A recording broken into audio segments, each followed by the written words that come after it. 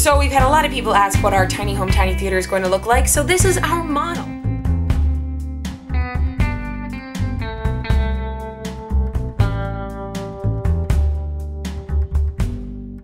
So this is our tiny home, tiny theater. This is the model. It's one inch to one foot. So this is what it looks like from the outside. This is the stage that we keep describing. So this actually pulls out. This is eight feet by 10 feet. These open up pretty nice. It gives us an extra eight feet of depth to the inside of the house. So if you wanted, you could have a drum kit up there, a couple band members over here. Nice thing about it is that this stage actually slides out the other way so that if you wanted to, you could just have a nice quiet evening out on the back porch. Nice little extra door over here. Super simple. Uh, this is what it looks like from the outside. So as far as the inside is concerned, first off, lots of fun little skylights, probably an extra one over here. Inside of the tiny home looks a little bit like this. We have our loft section over here. This is a queen size bed, but could get as large as a California king if you wanted it.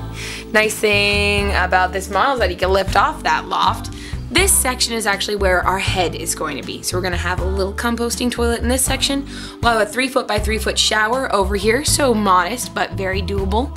Over here, we're going to have our galley area. This is gonna be a fine farm-sized sink. So in case we do dinner theaters, we won't have to fret about the amount of dishes afterwards. This is our nice little stove, a little smaller than your standard stove, but still very decent sized. And this is a super narrow but lovely refrigerator. Freezer on the bottom, fridge on top, some storage up above it. All of these next to each appliance, we have our nice little storage sections. This is a nice little ladder that gives us up into our loft. This area is our living space. We have a tiny little closet in this area over here, two foot by three foot. We also have lots of extra storage on this little shelf in this area, so we don't have to worry about that.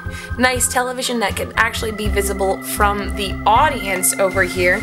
And the nice thing is that unlike a lot of tiny homes that have couches that are attached to the walls of the tiny home or tables that are attached the walls of the tiny home. Everything in our home is mobile, so we're gonna be able to bring this table out on the stage area, couch sections out in the stage area. So if you wanna have dinner outside, that's totally doable, but you can also use these blocks to have your own little uh, set pieces. Set pieces, thank you. so we can have set pieces out on this stage section. Um, and that's all we got so far. Woo!